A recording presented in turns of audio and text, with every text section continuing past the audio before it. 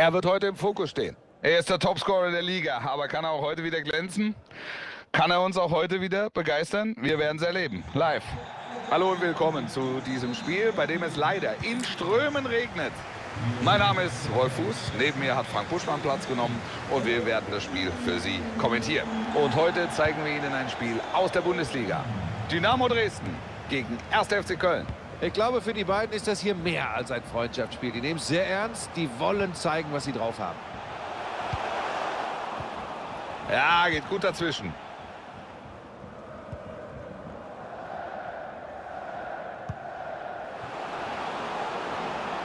Da haben sie die Chance. Sehr gut gemacht vom Torhüter.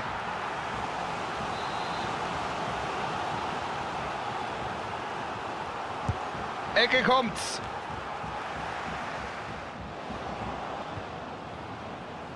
Den Ball hat er gut geholt. Das ist Wilson Manafa. Die Abwehr ist da durchaus gefragt. Schöner Spielaufbau. Schuss kommt nicht durch.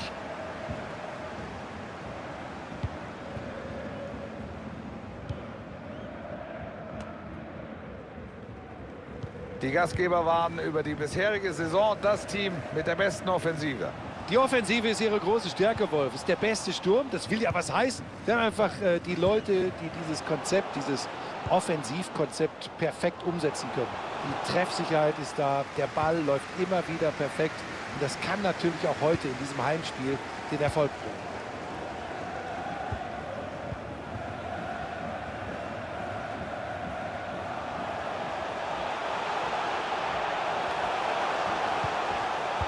Da können Sie erst mal klären.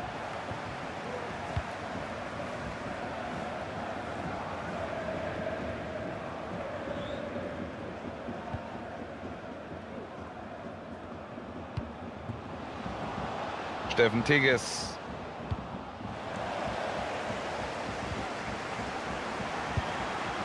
Keine große Mühe hier bei diesem ungefährlichen Ball.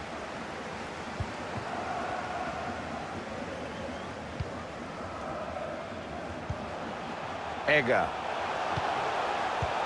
Jetzt dieser gefährliche Steilpass. Gute Gelegenheit, aber kein Tor.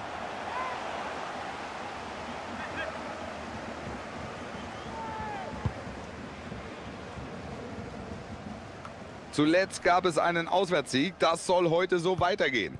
Und ich sehe tatsächlich überhaupt keinen Grund, warum sie heute nicht an diesen 3 zu 1 Erfolg anknüpfen sollten.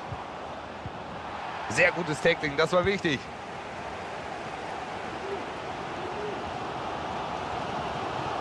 Ja, das sieht gut aus. Könnte die Führung werden.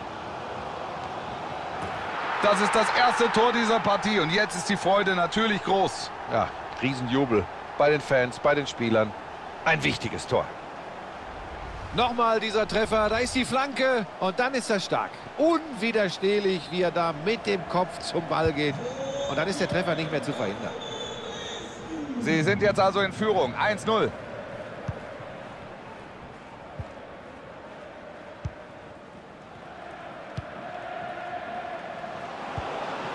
Abwehr muss aufpassen, weiter die Kölner. Aber jetzt verlieren sie doch den Ball. Da hat dann doch die Präzision gefehlt. Das ist gut. Sie unterstützen den ballführenden Spieler. Sie können es machen. Er kann diese Chance nicht nutzen. Ja, aus dieser Entfernung, Wolf, da macht das normalerweise besser.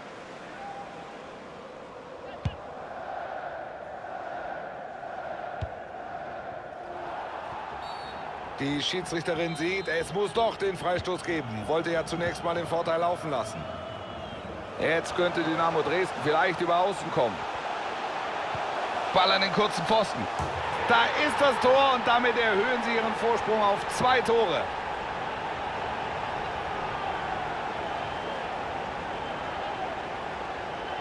Da ist das Tor nochmal. Ist natürlich eine wirklich gute Flanke. Und dann trifft er die Kugel wunderbar mit dem Kopf. Das ist technisch vor allem sehr gut gemacht.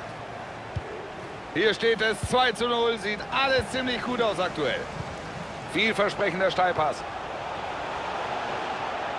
Viel Platz in der Mitte. Das nächste Tor. Die Abwehr erneut machtlos. Die Führung damit drei Tore. Nochmal die Wiederholung des Tors. Zunächst die Flanke und dann lässt er sich das nicht nehmen, wenn er aus so kurzer Distanz zum Abschluss kommt. Er macht es. Ein einseitiges Spiel heute. Schauen Sie sich diesen Spielstand an. Flanke jetzt. Nur eine Minute noch Nachspielzeit, dann ist hier Schluss. Wir gehen in die Pause. Nach dem ersten Durchgang liegen die Gastgeber hier.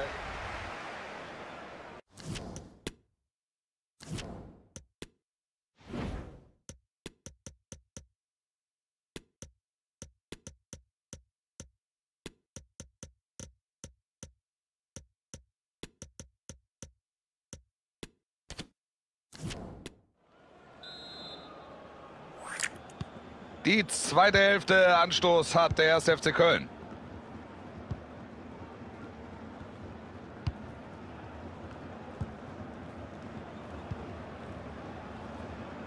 Er kann dieses Duell gewinnen.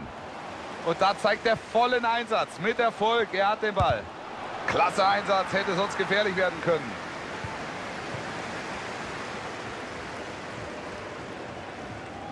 Die Chance jetzt vielleicht zum Konter. Ball draußen wird Einwurf geben. Sie nehmen eine Auswechslung vor. Jakobs. Guter Schuss jetzt. Aber am Ende kommt nur dieser eher harmlose Schuss dabei rum. Keine Probleme.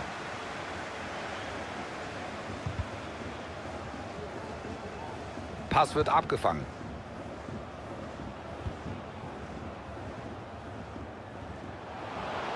Weiter am Ball. Abwehr findet kein Mittel. Eine sichere Parade. Sie nehmen den Wechsel vor. Der Ball kommt rein. Sie können nicht klären, sind weiter im Bedrängnis. Super Kopfball, aber gehalten. Klasse Aktion von beiden mit dem besseren Ende für den Torwart. Ja, schwacher Ball hier.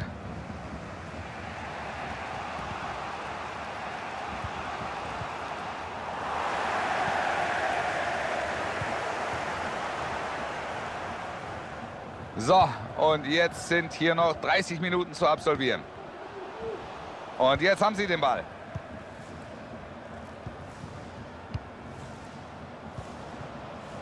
Jakobs.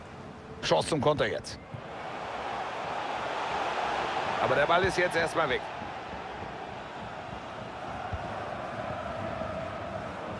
Und wie geht es für den 1. FC Köln weiter, Buschi? Es geht gegen... Ah, jetzt könnte es eine gute Gelegenheit geben. Ungefährlicher Ball und den hält er natürlich.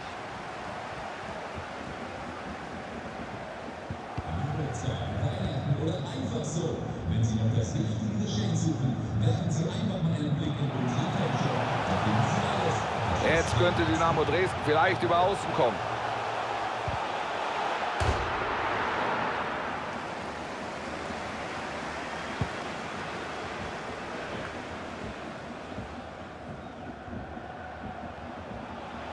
Er bringt den Ball jetzt nach vorne. Und jetzt ist der Ball weg. Die Szene damit erstmal geklärt. Vielleicht der schnelle Konter jetzt.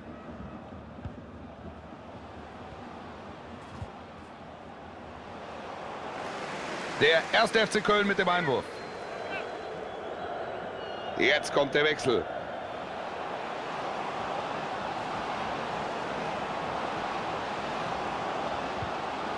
Das ist Wilson Manafa. Der wäre gut gekommen, aber der Schuss wird abgeblockt.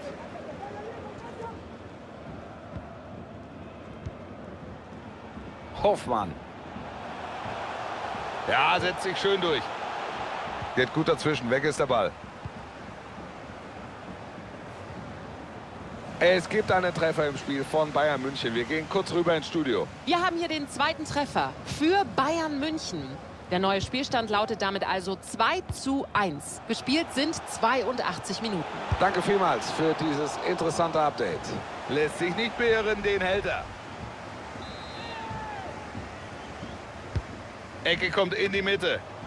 Sie bringen den Ball raus nach dieser Ecke. Schussversuch. Gute Parade. Gibt Ecke.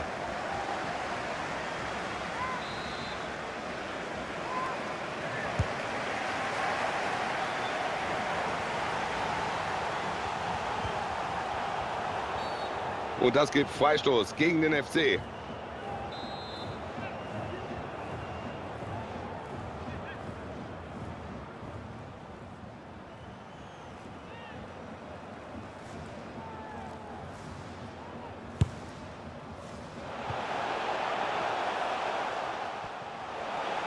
Das gibt Einwurf.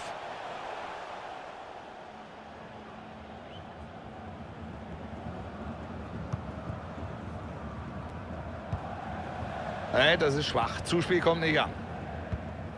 Nachspielzeit ist angezeigt. Es gibt noch eine Minute. Wir haben den Schlusspfiff in dieser Begegnung. Die Gastgeber dürfen sich über einen Sieg freuen. Jetzt dieser gefährliche...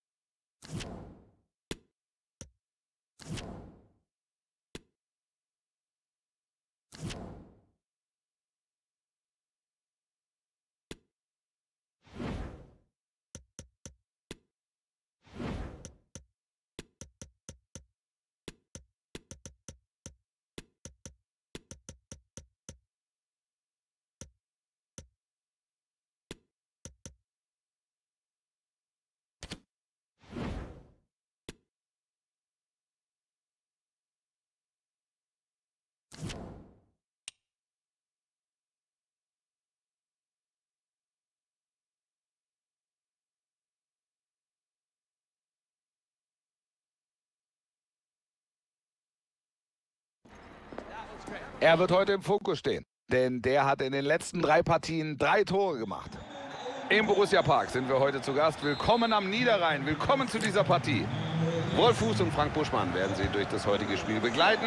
Und heute geht es bei uns um ein Spiel aus der Bundesliga. Borussia Mönchengladbach gegen Dynamo Dresden. Oh, da ist natürlich einiges drin in dieser Partie. Also da bin ich sehr gespannt, wie sich das auf dem Rasen darstellt. Keine schwierige Aufgabe. Der Abschluss war schlicht und ergreifend zu schwach.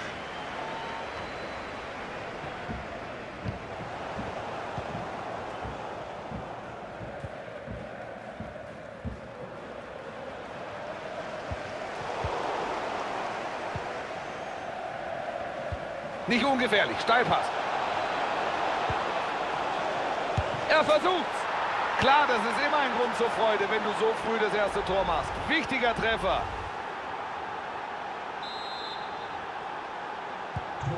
Ich bin gespannt, wie Gladbach reagieren wird. Rückstand, jetzt müssen sie was tun. Simon. So fangen sie den Angriff früher ab. Sehr gut. Jetzt könnte Dynamo Dresden vielleicht über Außen kommen. Ball geht an den langen Pfosten. Da hat der Torwart keine großen Probleme.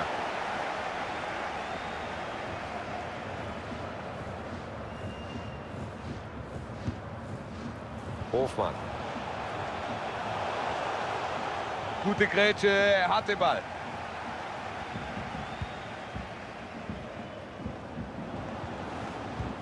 Sie stehen sehr hoch und genau das zahlt sich hier aus. Den kann er blocken, sah gefährlich aus. Die Gäste sind bislang die große Überraschung dieser Saison.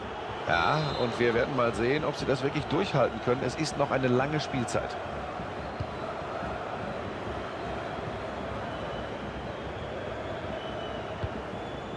Unai Vencedor.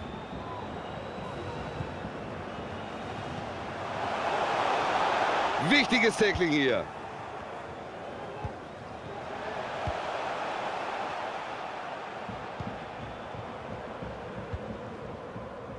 Hoffmann.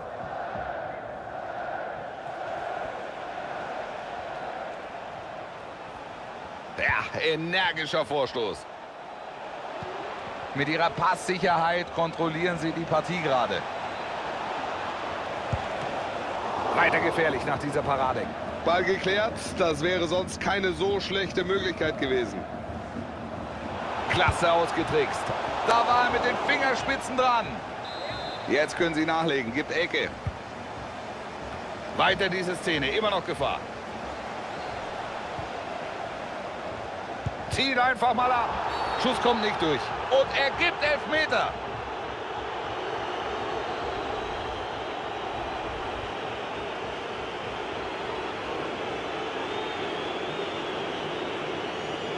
Jetzt können sie die Führung erhöhen. Sie verwandeln den Strafstoß.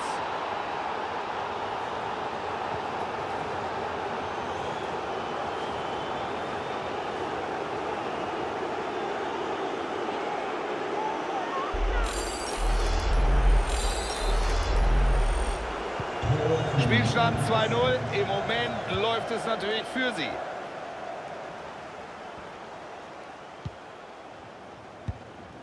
Hofmann. Und die Gladbacher kommen. Und jetzt ist der Ball weg. Die Szene damit erstmal geklärt. In Sachen Ballbesitz sind die Gäste hier die bessere Mannschaft. Und wenn du diese spielerische Überlegenheit so gut in Torgefahr umsetzen kannst, dann kommt ein überlegener Auftritt raus. Das ist die Führung.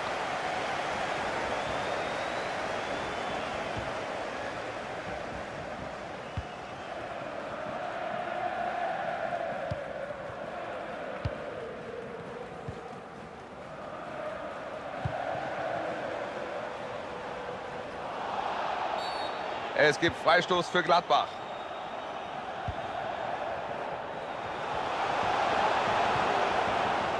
Den Zweikampf führt er sehr gut.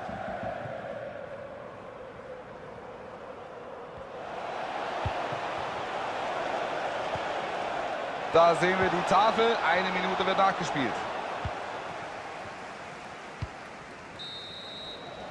Und das war die erste Hälfte.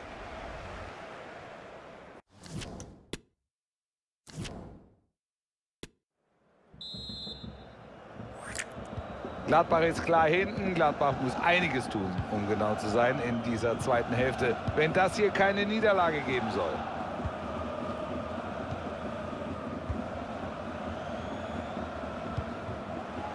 Frühe stören, da musst du erstmal gegen ankommen. Ball gewinnen.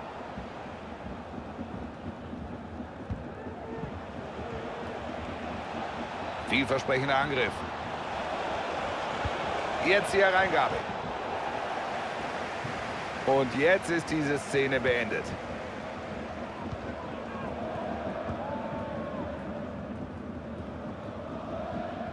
Abwehr muss so langsam aufpassen. Weiter dieses Dribbling.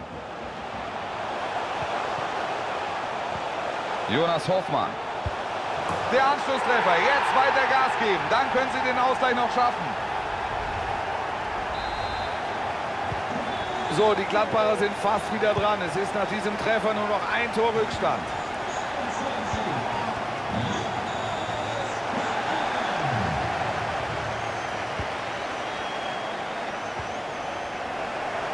Ballverlust.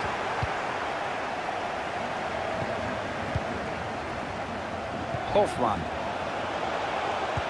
Schöne Aktion. Guter Steilpass. Der Ball ist drin. Jetzt sind sie also mit zwei in vorne. Hier haben wir dieses Tor nochmal in der Wiederholung. Zuerst der Steilpass. Und hier sehen wir, wie er die gesamte Abwehr einfach abhängt. Und Wolf am Ende hatte auch noch die Ruhe, den Ball ganz cool im Tor unterzubringen. Der neue Spielstand lautet jetzt also 3 zu 1.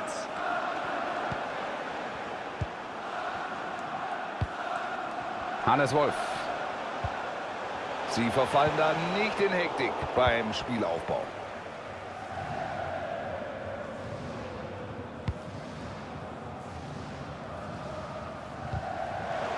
Den Ball hat er gut geholt. Chance zum Anschlusstreffer. Das ist gut verteidigt. Klärt den Zeiten aus, wird natürlich Einwurf geben jetzt. Sie nehmen den Doppelwechsel vor.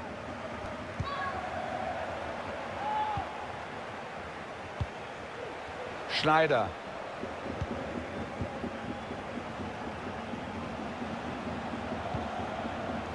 Das könnte was werden jetzt.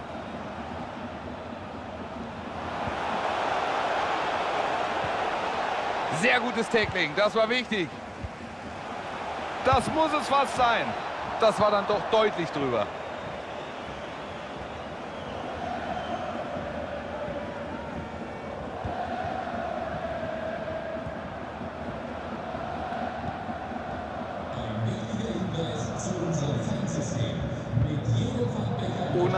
Vencedor. Kamaldin. Das ist vielleicht jetzt die Chance mal für Gladbach. Der Versuch aus der Distanz. Das war knapp. Wenn da das Tor fällt, dürfen sie sich nicht beschweren.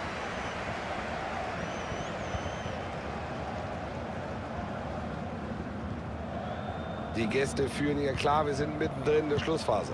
Das ist ein schönes Spiel einfach. Zwei Tore Führung verdient. Also den Sieg holen die sich, kein Zweifel. Dafür wirken sie einfach zu stark. Wir können nichts aus der Flanke machen.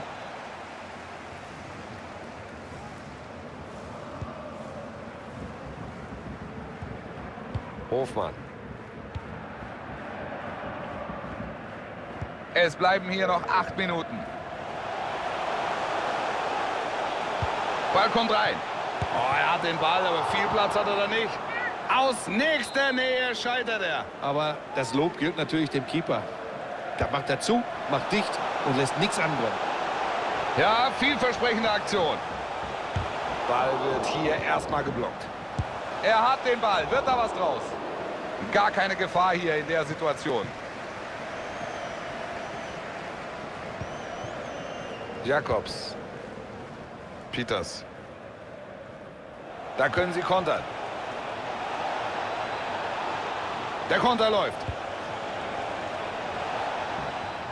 Es gibt eine Minute Nachspielzeit.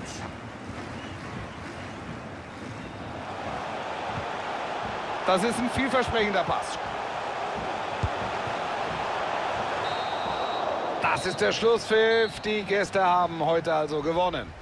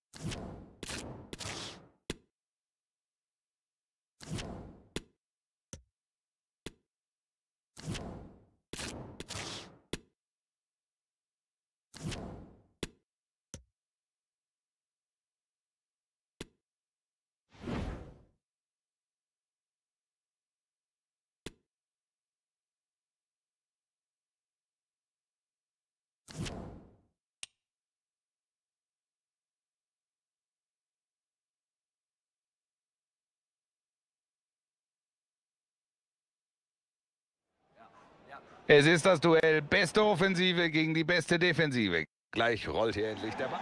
Schön, dass Sie dabei sind. Ich begrüße Sie aus einem winterlichen Stadion. An den Mikrofonen melden sich auch heute wieder Wolfuß und Frank Buschmann. Und heute übertragen wir Ihnen ein Spiel aus der Bundesliga. Dynamo Dresden gegen Eintracht Frankfurt. Also ich bin sicher, das wird ein Riesenspiel. Geht bei den beiden Mannschaften doch gar nicht anders.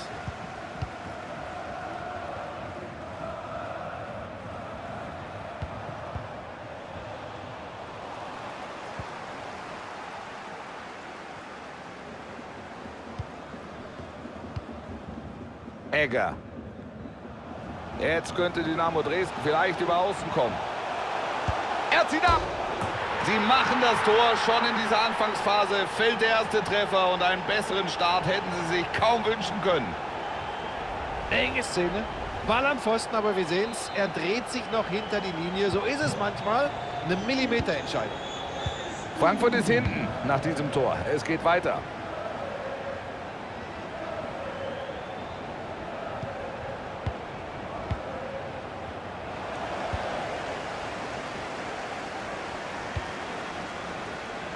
Schneider. Das könnte die Chance werden. Mein lieber Schwan, das war gefährlich. Im Strafraum kann das auch schnell Elfmeter geben, aber es ist gut gegangen.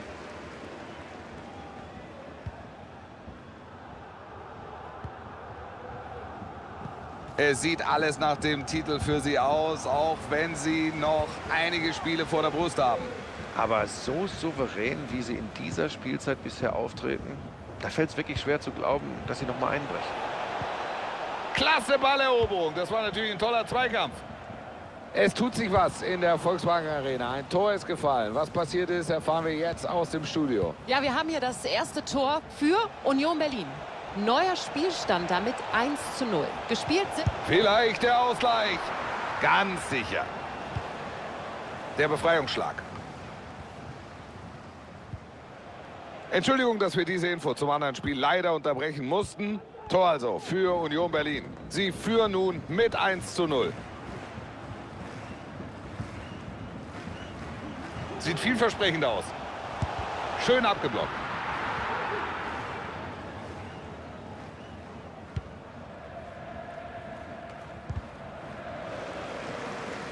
Sie fangen diesen Ball ab. Ja, das könnte was werden jetzt. Die Gelegenheit. Und hier ist der Torwart sicher, er hält den Ball. Und da ärgert sich der Spieler, das wäre ein weiterer Treffer gewesen. Die Ecke kommt rein. Ja, toll gehalten. Der Gegner war dran, noch ein Eckball. Da ist der Ball erstmal raus.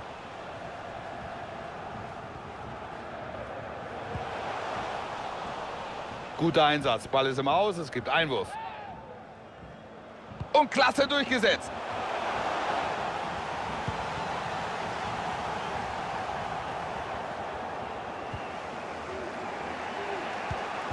Alexander Isak. Nicht gut gemacht da im Zweikampf. Das muss es sein. Da ist der Ausgleich und alles zurück auf Anfang. Sie haben hier also den Ausgleich geschafft. 1-1.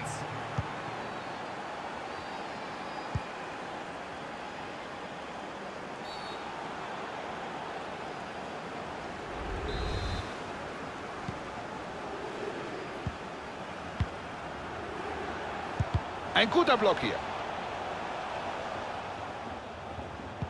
So fangen sie den Angriff früher ab. Sehr gut.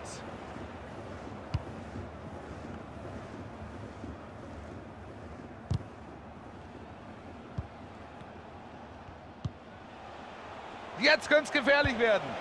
Und sie verlieren den Ball dann doch.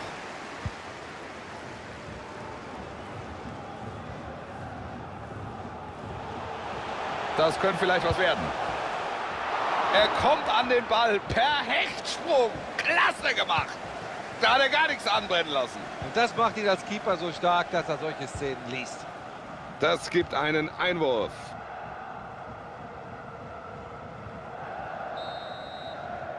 Es geht in die Pause.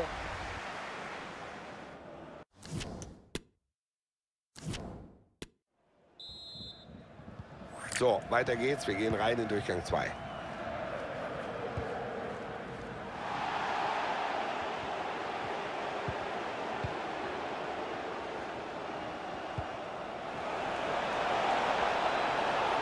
Dribbling geht weiter, die Abwehr findet einfach kein Mittel.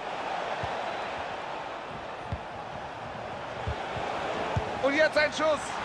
Der Keeper hat den Ball, der war nicht platziert genug. Um ihn hat es zuletzt Diskussion gegeben. Geht er, bleibt er. Jetzt kennen wir das Ergebnis. Er geht. Der Wechsel steht fest. Es ist wichtig, dass er jetzt Klarheit hat. Ah, Moment, jetzt knallt's gleich. Er hat den Ball gehalten, aber Szene geht weiter. Geblockt, aber weiter Gefahr. Er bringt den Ball jetzt nach vorne. Da lässt er nichts zu.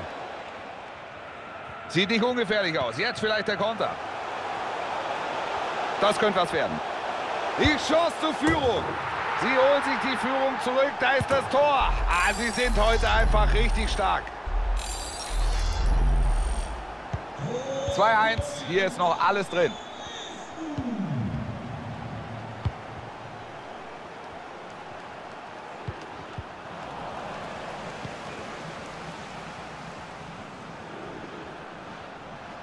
Schöner Angriff. Nebenleute bieten sich an. Aber wir sehen es. Ballverlust.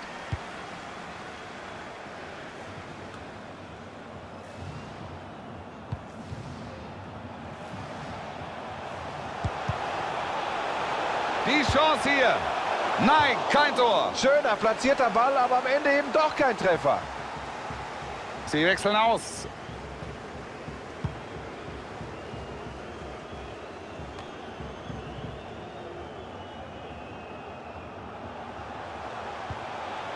Egger.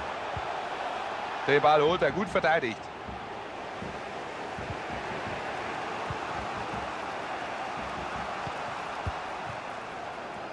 Das könnte gefährlich werden. Aber der Ball ist jetzt erstmal weg. Peters. Er kann es machen. Und abgefangen vom Verteidiger, diese Hereingabe. Und jetzt sind hier noch 20 Minuten zu spielen.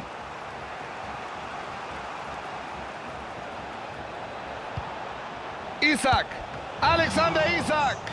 So wird das nichts mit dem Tor. Der Torhüter ist da.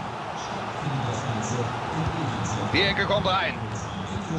Großartige Aktion vom Abwehrspieler. Da rettet er in letzter Sekunde. Ich war mir so sicher, dass das ein Tor wird. Klasse reagiert. Ja, da ist Platz jetzt.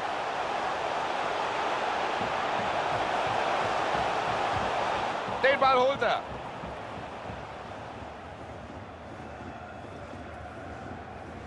Sie müssen aufpassen jetzt im Spielaufbau. Es tut sich was in der Volkswagen Arena. Ein Tor ist gefallen. Was passiert ist, erfahren wir jetzt aus dem Studio. Wir haben hier das erste Tor für den VfL Wolfsburg. Galeno hat's gemacht. Vielleicht der Ausgleich. Unglaublich, da ist der Ausgleich. Wir schauen noch mal auf die Wiederholung dieses Tors. Erst kommt der Pass und dann zum Abschluss dieser Lupfer. Besser kannst du es nicht machen. Alles wieder offen hier. 2-2. Sie nehmen den Wechsel vor. Diesen Blick aufs Parallelspiel mussten wir leider abbrechen. Das bitten wir zu entschuldigen. Es gibt also einen. Er kann diese Chance nicht nutzen. Ja, aus dieser Entfernung, Wolf, da macht das normalerweise besser.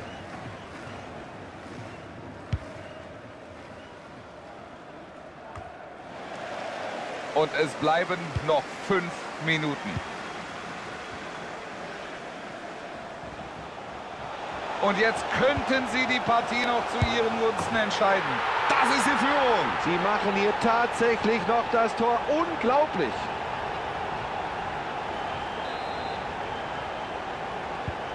Ist das die Entscheidung, Buschi?